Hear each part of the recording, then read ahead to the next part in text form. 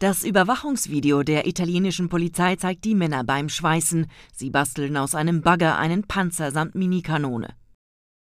Mit diesem 40 Tonnen schweren Gefährt planten die Separatisten der norditalienischen Region Veneto eine spektakuläre Aktion.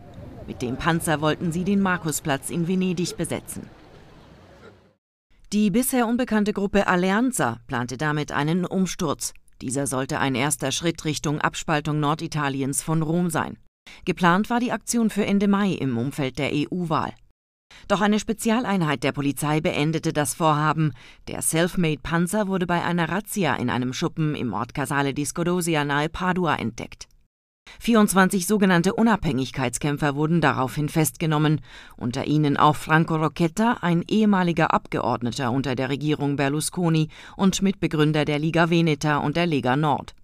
Ihnen wird Terrorismus, Umsturzversuch und Herstellung von Kriegswaffen vorgeworfen.